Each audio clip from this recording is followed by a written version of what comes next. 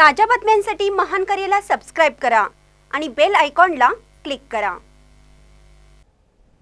इचलकरंजीतील सर्वपक्षीय ओबीसी नेत्यांची बैठक ओबीसी लढा एकत्रपणे लढण्याचा निर्णय.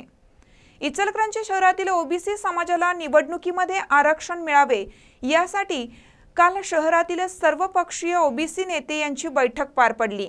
यावेळी एकमताने ओबीसींचा लढा एकत्रपणे लढण्याचा निर्णय झाला.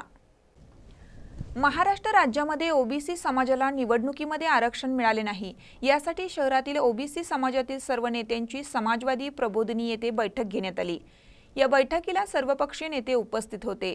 यावेळी सर्वच नेत्यांनी आपली मनोगत मांडली. ओबीसी समाज देशात व राज्यामध्ये मोठा समाज म्हणून ओळखला जातो. पण या समाजाचे आरक्षण टिकवता आले नाही. येणाऱ्या पिढीला ओबीसी आरक्षण मिळाले पाहिजे. यासाठी ओबीसी समाजातील सर्व नेत्यांनी पक्ष बाजूला ठेवून एकत्र येणं गरजेचं बनलं आहे. व ओबीसी लढा मोठ्या प्रमाणात उभारला पाहिजे. भावी पिढीला ओबीसी आरक्षण कसे मिळेल? यासाठी एकत्रितपणे येऊन लढलं पाहिजे.